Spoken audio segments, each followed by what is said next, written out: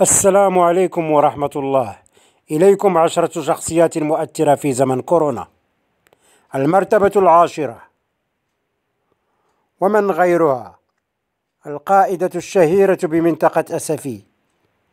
القائدة حرية التي تميزت بخفة دمها وصرامتها في نفس الوقت.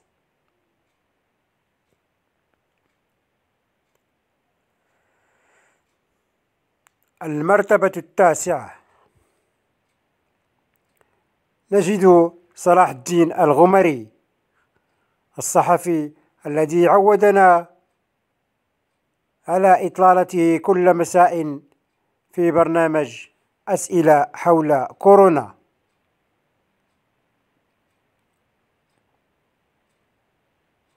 المرتبة الثامنة. نعطيها للدكتور محمد اليوبي مدير الأوبئة بوزارة الصحة الذي كان يمدنا بجميع الإحصائيات حول هذا الوباء الخطير داخل المملكة. المرتبة السابعة تحية إجلال وتقدير للقوات المساعدة والدرك الملكي والسلطات المحلية والأمن الوطني وكافة الأجهزة الأمنية بالمملكة.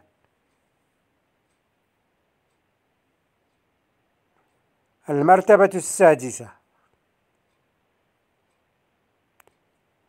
نجد الشباب المغربي المخترع الذي تمكن من اختراع جهاز للتنفس الاصطناعي بكلفة قليلة وفي ظرف وجيز.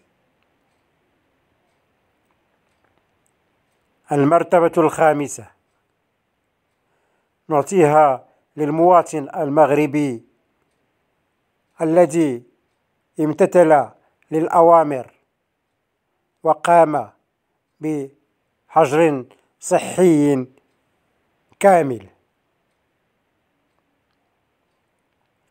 المرتبة الرابعة. جنود من جنودنا البواسل. أعضاء الوقاية المدنية. الذين ضحوا بأرواحهم. لنقل المرضى والمصابين إلى المستشفيات. فشكرا لكم أيها الأبطال. المرتبة الثالثة. نجد جيشنا الأبيض. الممرضين والممرضات. الأطباء والطبيبات. عناصر القطاع الصحي بالمملكة. ضحوا بالغالي والنفيس. في سبيل تعافي المرضى والمصابين بهذا الوباء الخطير. شكرا لكم. المرتبة الثانية.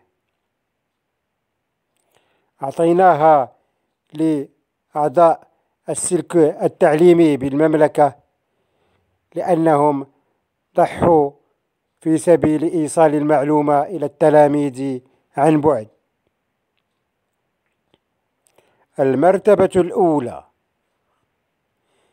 لا يمكن أن نعطيها إلا لقائدنا الهمام بطل الأبطال الملك محمد السادس نصره الله الذي قام بتأسيس صندوق وباء كورونا منذ الوهلة الأولى لإعانة المحتاجين. وللمساهمة في التخفيف من معاناتنا.